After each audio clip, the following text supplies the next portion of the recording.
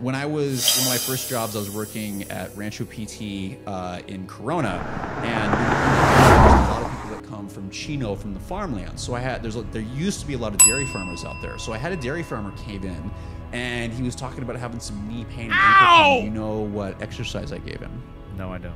Calf raises. That's one. Yeah, I, one. I actually like that one. yeah, actually. there's a little Okay. more build up to that one. I like now. that one. Yeah, yeah. So, really interesting experience when I was at Kaiser. There was a guy that came in and said he worked in a morgue. He said he was having back pain. I was like, oh, that's interesting. So, do you know what exercise I gave him? I do not. Deadlifts. That one, I, I could, I should have predicted that one.